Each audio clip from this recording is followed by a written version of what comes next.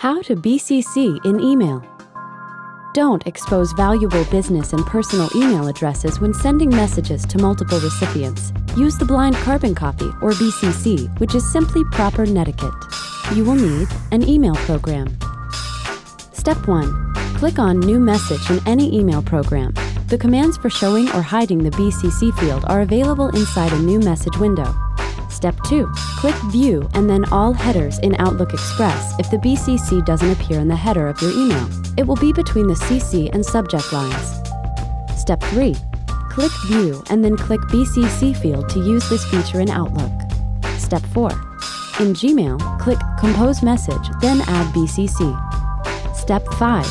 Use the BCC feature in AOL by typing the addresses in parentheses in the Copy To box, separating each with a comma. In Yahoo, click the Add BCC button.